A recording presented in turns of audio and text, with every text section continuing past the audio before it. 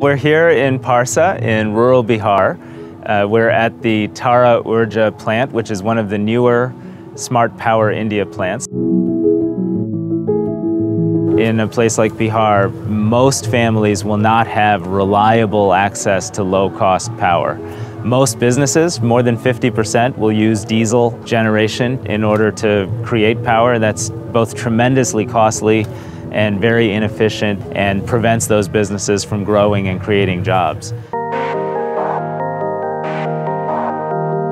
The partnership between Smart Power India and Tata Power to create the world's largest solar mini grid business uh, is going to just transform the face of poverty in this country and I personally believe around the world.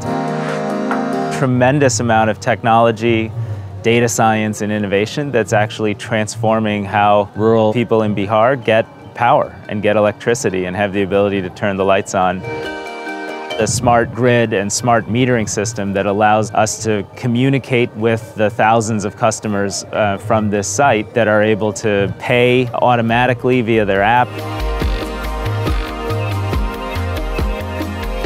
We will build out 10,000 of these mini grids We'll reach 25 million people and will help them move themselves out of poverty. 400,000 farmers will have access to better irrigation and new technology and improved incomes. And we think it's going to help show the world that it's possible to end energy poverty here and around the rest of the planet.